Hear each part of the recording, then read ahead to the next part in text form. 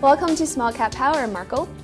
Thanks for having me. Yeah. So, give us a little bit of a, a, background on Genesis Mining. When and where did you start mining bitcoins? Sure. Uh, Genesis Mining has been one of the first uh, blockchain and uh, Bitcoin uh, or cryptocurrency companies in the world. It's, we started 2013, mm. where really uh, the whole the whole ecosystem was really at its infancies and. Um, we have started the first mining operation in 2013 and we have grown uh, a lot uh, since then. So where is the company based and uh, where do you mine?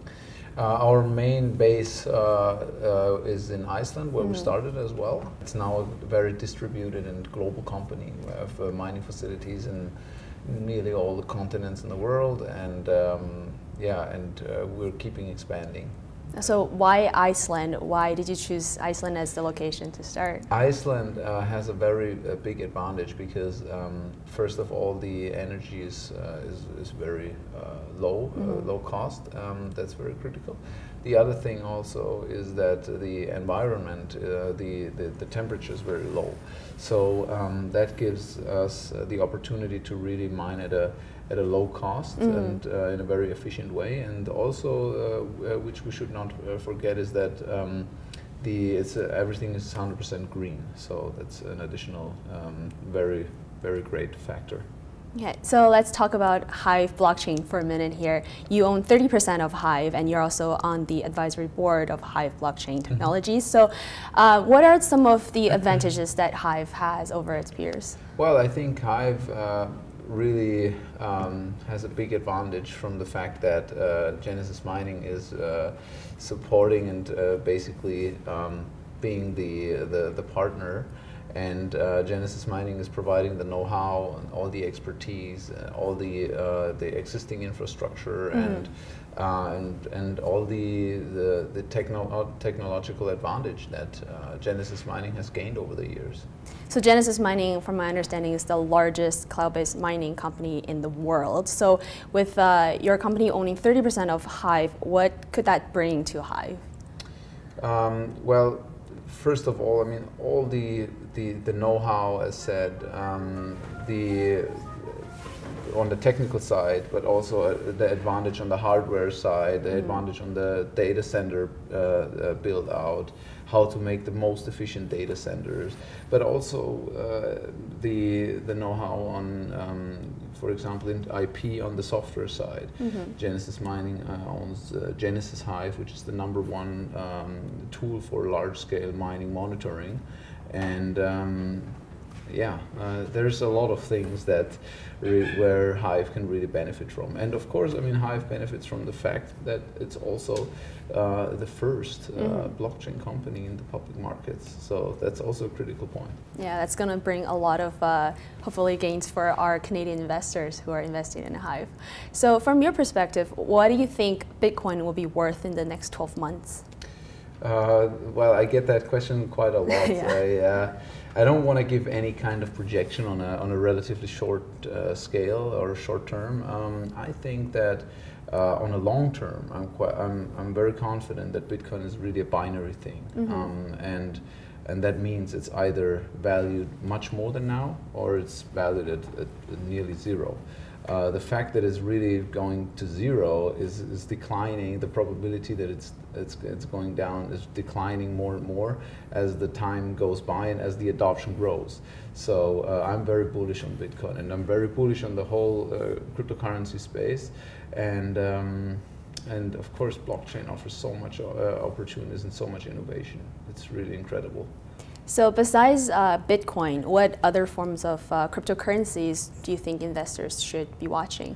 Oh well, I'm, i think really the whole uh, altcoin market is really an experimental playground in mm -hmm. a mm-hmm. way where you have a lot of um, a lot of coins that have promising features, and some are really really um, uh, turning out to be to, to have really key uh, innovations and uh, some are just experimental, and some are some are even there that are questionable. Uh, so you really have a, a, wide variety, but really from the for the most promising ones, I would say are. for example, the, the privacy coins are very interesting to look. We have like Zcash, um, Monero, uh, Dash, Mm-hmm. um, but also for, I mean, there are even coins like uh, that uh, have a social uh, character where you have social networks binded to it. Um, and uh, yeah, you have, like, for example, also Ethereum Classic is something very interesting because it basically spun off from Ethereum um, after there was the DAO hack, and Mhm. some people said, "Hey, we're we're we're really sticking to the ideals of blockchain. We don't want uh, any transaction to be reversed, and we want to blockchain should stay immutable." And um, yeah, so you have really a wide variety, and you have a lot of uh, communities that are backing these coins, Mhm. and uh, it's very exciting. Yeah, sure. Um, so for our investors' information, what do you think is the easiest and the best way for our average re- retail investors to purchase or to buy cryptocurrencies? Um, well, I think there's two ways how to get how to gain uh, how to get uh, currency cryptocurrencies.